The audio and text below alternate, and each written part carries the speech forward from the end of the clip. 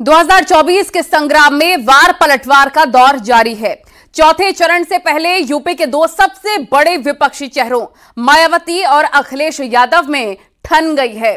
दोनों नेताओं के बीच ट्विटर वॉर चल रहा है, बयानबाजी चल रही है और सियासत का केंद्र है आकाश आनंद और बीएसपी का दलित वोट बैंक।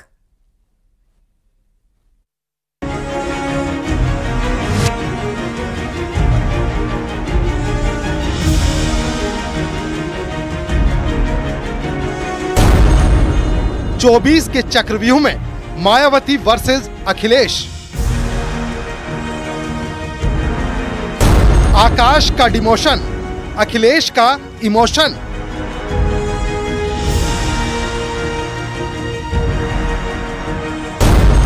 आकाश आनंद पर मायावती वर्सेस अखिलेश। कहा तो बीजेपी बम्पर प्रचार में जुटी है। तेरह को कन्नौज का नंबर भी आने वाला है। कहा विपक्ष आपस में ही लड़ाई लड़ रहा है। मायावती ने अपने भतीजे आकाश आनंद से पद क्या वापस लिया? सपा और कांग्रेस को तगड़ा दर्द होने लगा। पहले अखिलेश यादव का बयान सुनिए फिर पूरी कहानी बताते हैं। मैं अपील करूँगा संविधान बचाने के लिए लोकतंत्र बचाने के लिए कोई भी अपना वोट खराब न करें। भारतीय जनता पार्टी से सीधा मुकाबला समाजवादी लोग कर रहे हैं। मैं तमाम बहुजन समाज के लोगों से और तमाम वो लोग जो बाबा साहब के रास्ते पे चलते हैं, उन सबसे मैं अपील करता हूँ कि अपना वोट ना खराब करें इस चुनाव में लोकतंत्र को बचाने के लिए, बाबा साहब भीमराव अंबेडकर जी का संविधान बचाने के लिए, आरक्षण बचाने के लिए, शिक्षा को बचाने के लिए समाजवादियों की मदद करें। आकाश आनंद को लेकर सपा बसपा में छिड़े वॉक युद्ध की शुरुआत। अखिलेश यादव के एक ट्वीट के बाद हुई। फिर क्या था? मायावती ने भी पलटवार करने में देरी नहीं लगाई। अखिलेश यादव ने लिखा था कि विफलता के चलते बीएसपी संगठन में बदलाव किया गया है। तो मायावती ने पलटवार करते हुए लिखा, घोर दलित विरोधी सपा को चिंता करने की ज़रूरत नहीं है। अखिलेश यादव ने लिखा कि बीएसपी के परंपरागत समर्थक इंडिया के साथ हैं। तो मायावती ने जवाब दिया कि सपा केवल यादव परिवार की चिंता करे, बीएसपी की चिंता की उन्हें ज़रूरत नहीं। अखिलेश यादव ने लिखा कि तीन चरणों में बीएसपी की एक भी सीट नहीं आ रही और चौथे चरण में भी कोई उम्मीद नहीं।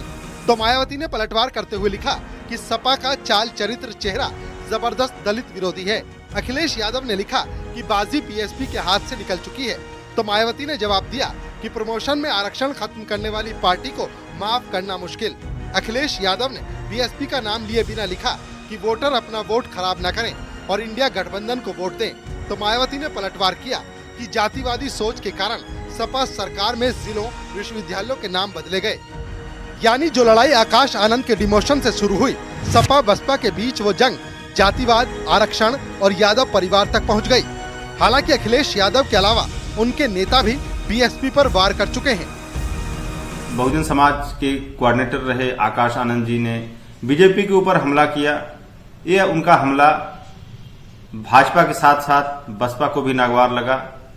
और चूँकि बीएसपी का जो लोगों के अंदर परसेप्शन है, यही है कि बीएसपी पर्दे के पीछे से बीजेपी को सपोर्ट कर रही है। देखिए, ये किसी भी राजनीतिक दल का फैसला होता है कि किसको पदाधिकारी बनाना है या हटाना है। इस पे समाजवादी पार्टी को कोई टिप्पणी नहीं करनी।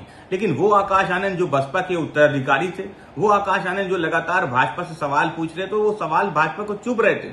उन आकाश आनंद को आदरणीय मायावती जी ने सभी पदों से मुक्त करने का काम किया। मायावती जी ने टिकट दिए, टिकट बदले, उस पर कहीं ना कहीं भारतीय जनता पार्टी का प्रभाव नज़र आता है। इसलिए समाजवादी पार्टी लगातार ये सवाल उठा रही है कि भाजपा और बसपा का आघोषित गठबंधन है। बसपा को मान्यवर काशीराम जी के बताए हुए रास्ते से भटक चुकी है। इसलिए जनता बहुत आस और उम्मीद के साथ समाजवादी पार्टी की तरफ़ देख रही है। कुल मिलाकर ये लड़ाई अब अखिलेश यादव वर्सेज मायावती की बन चुकी है। अखिलेश यादव ने बीएसपी को छेड़कर जो गलती की, मायावती ने उसी का जवाब अपने अंदाज में देकर महफिल लूट ली। अब देखना होगा मायावती के इस हमले के बाद सपा की ओर से क्या जवाब आता है? Bureau report news eighteen.